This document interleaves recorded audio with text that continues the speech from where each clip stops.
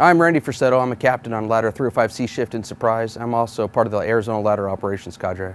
Today we're going to talk about a test we conducted in January on positive pressure attack, PPA.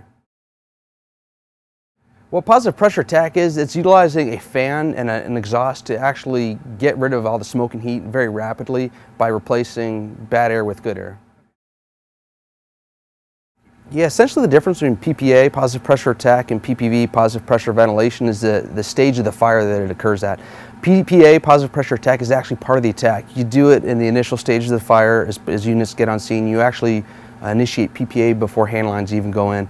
Positive pressure ventilation, PPV, is what we do historically now. It's after fire control. It's when we go in and actually start isolating uh, the residual smoke to try and get out of each individual room by closing doors and opening up certain windows. We built about a 900 square foot Class A uh, burn structure that we were actually able to do live burns in and collect data on. Um, we had 103 burns and we actually had 17 different agencies participate in the drill. We also had a classroom portion as far as in the hands-on.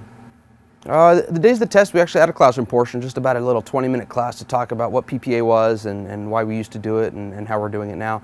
And then after we got into the live burn, we broke the groups up into three different groups. We had observers inside, which normally there'd be nobody inside in a positive pressure attack evolution in the real world, but we wanted people to see the effects of it. And the other two groups, we had an exhaust group and, and uh, an entry group.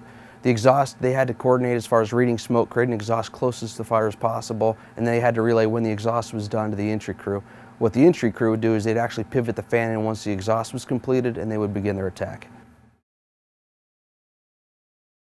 Uh, we used an Omega thermocouple and a meter. We had a, a meter that actually recorded temperatures. Um, it was calibrated up to one half degree Fahrenheit, and we actually were able to monitor the, the temperatures in four different areas using four different thermocouples. At the hottest temperature, we were about 1680 degrees Fahrenheit, and within starting the fan, within 10 seconds, it went down to about 400 degrees Fahrenheit victim survivability by far. Um, it takes away so much heat and smoke rapidly that it increases survivability drastically. The other good part about it is a lot of times when firefighters under heavy conditions, they actually are driven to their hands and knees and to obtain a search and rescue. It takes a lot of time. Um, by doing positive pressure attack, firefighters are now actually able to enter the structure while standing because the visibility is so good. I think one of the biggest things was people thought it was actually feeding the fire with, with oxygen. Okay, and when you look at it, we really stress the exhaust is the key because now you're not you're not pressurizing the building. What you're doing is you're creating exhaust about one and a half to two times the size of your entry point. So now you're replacing bad air with good air.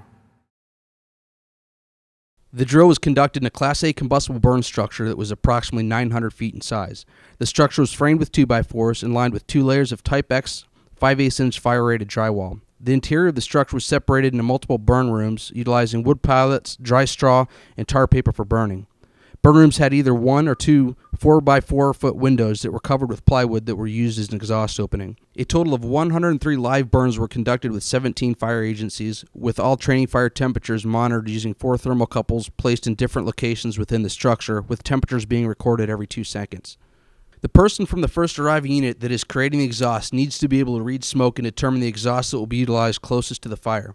This will create a path of least resistance for heat and smoke to be closest to the fire, not the point at which firefighters are making entry. Generally speaking, the exhaust should be one and a half to two times the size of the attack entrance where the fan is being positioned. It is a necessity that an adequate exhaust closest to the fire be created prior to operating the fan into the structure.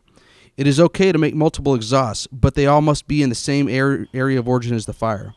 Once an exhaust is created, the person creating it must relay to the crews at the attack point that the exhaust has been done and is now acceptable to direct the fan into the structure and implement positive pressure attack. As the initial truck gets on scene and determines that PPA is going to be utilized, it is acceptable for the entry team to start the fan and to direct the air cone away from the door in efforts to save time.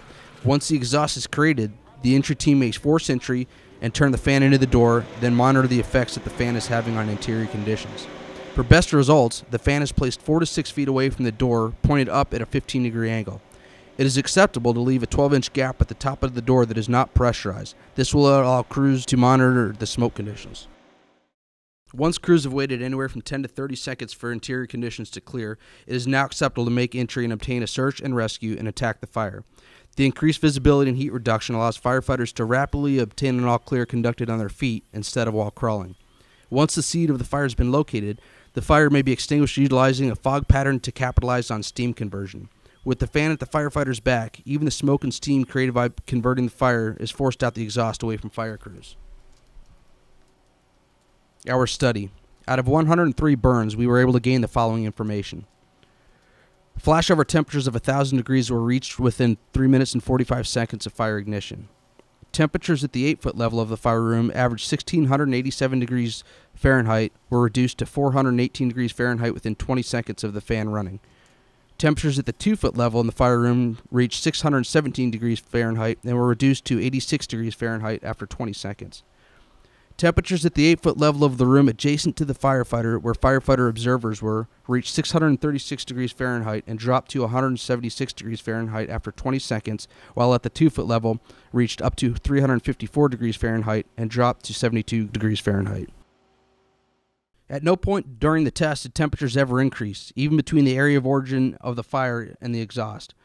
During steam conversion test, four pallets were lit on fire in a 10 foot by 10 foot room until temperatures reached 1690 degrees Fahrenheit.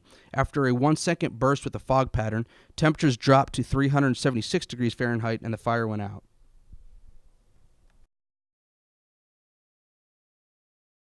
You know, this is just another tool in the toolbox that we can use. A lot of times one of the most important things we can address before fire condition is ventilation.